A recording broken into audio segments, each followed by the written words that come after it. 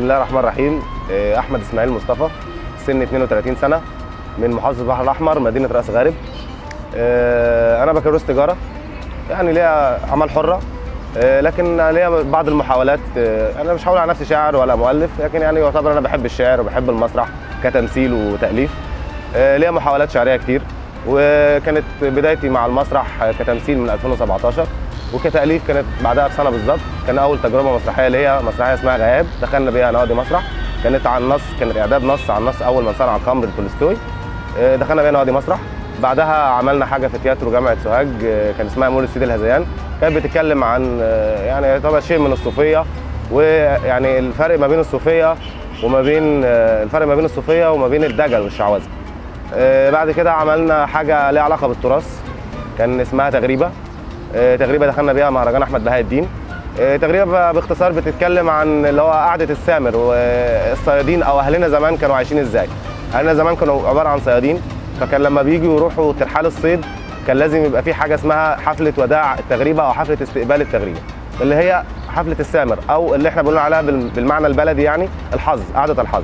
كان بيبقى عبارة عن نص دايرة بيبقوا موجودين بيبقى فيها شيء من الغنى عن السمسمية أو السلك اللي هي التراث الفني بتاعنا البحري آه، والخاص بعربان الصحراء الشرقية.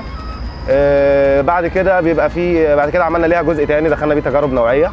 كان آه، اسمها تبحيرة البوس الجزء الثاني بس لسه يعني إحنا حاليا دلوقتي يعني في مرحلة الاقاليم يعتبر دي يعتبر المحاولات المسرحية اللي أنا عملتها. على المستوى الانساني الورشة الورشة هنا يعني هنتكلم على شقين المستوى الإنساني إحنا مجموعة الحمد لله يعني دايما كده بيبقى في مثلا الورش دي بيبقى فيها علاقات إنسانية جميلة أول حاجة تبادل الأفكار ودي حاجة مهمة جدا أنا عن نفسي بحبها جدا قبل تبادل الأفكار اتفضل. الخاتم ده كده عشان يبقى شكله حلو في عشان بس إيدك. وده ممكن okay. عشان العمق okay. يعني عشان لو عايز تبان إن أنت عميق البسه يعني عشان. عميق. نضاره حلوة متشكرين جدا يا متابعك متشكرين جدا. أنا من أشد المعجبين بيك. والله طلعوهم بره ال location قول اسم؟ طلعوهم بره اللوكيشن بره يا يسري لطفي اطلع بره يا لطفي. نور يا دكتور عبده. بالنسبة بالنسبة للعلاقات الإنسانية زي ما أنتم شايفين يعني إحنا عندنا جماعة من أسود بسم الله ما شاء الله عليهم يعني إخوات. وقبل كل حاجة إحنا كنا مع بعض قبل كده في ورشة كتابة برضو مسرحية. كانت تبع مهرجان أحمد بهاء الدين. اتعلمنا حاجات كتير من بعض. وده يمكن من أهم الميزات اللي إحنا بنشوفها في الورش التدريبية اللي زي كده.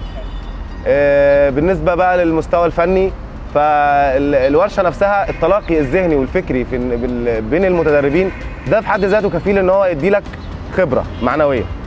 آه، بالإضافة طبعا الخبرات اللي إحنا بنستفادها من من الدكاترة اللي جم يحاضرونا آه، استفدنا منهم حاجات كتيرة. آه، كم كتب برضو جديدة وكم مسرحيات جديدة أنا عن نفسي كنت لسه ما أعرفهاش وابتديت إن أنا أعرفها وحبيت إن أنا أطلع عليها وأقراها.